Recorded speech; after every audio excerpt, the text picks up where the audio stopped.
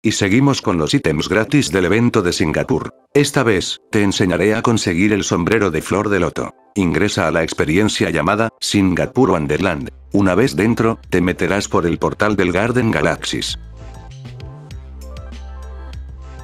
Para obtener el ítem deberás de encontrar la flor de loto que se encuentra escondida. Utilizarás el detector de lotos para saber su ubicación. En bueno.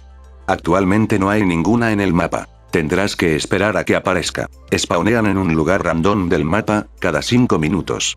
Y solo una persona puede agarrarla. Es decir, el primero que lo encuentra se lo queda. Ah, y te aviso que solo sirve en los servidores públicos. Sabrás que apareció en el mapa por los siguientes indicadores el signo de exclamación, el aviso en el chat y el mensaje de abajo. Además de que sonará un pip, y la luz del detector empezará a parpadear. Cuanto más rápido suene y titile, más cerca te encontrarás del ítem. ¡Ay no! Alguien lo encontró, ahora tendré que esperar 5 minutos más. Se vienen los consejos. La primera es equiparte un vehículo para ir super flash. La segunda es desactivar la música del juego para solo escuchar los pitidos del detector. La tercera es utilizar los checkpoints para teletransportarte de un lado a otro. Es una buena herramienta si es que sabes en qué lugar del mapa están ubicados. Recuerda que debes de encontrarlos por el mapa para poder desbloquearlos. El cuarto consejo es aumentar un poco la calidad gráfica para poder ver esta luz de color amarillo. Este haz de luz indica la ubicación del ítem gratis.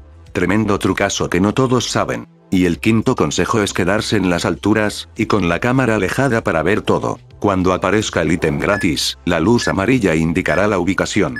Además del sonido del detector que ya te conté. Uf, tuve suerte la verdad, apareció cerca mío. Cuando lo encuentres, recibirás el emblema y el ítem del sombrero. Dejo otra posible ubicación.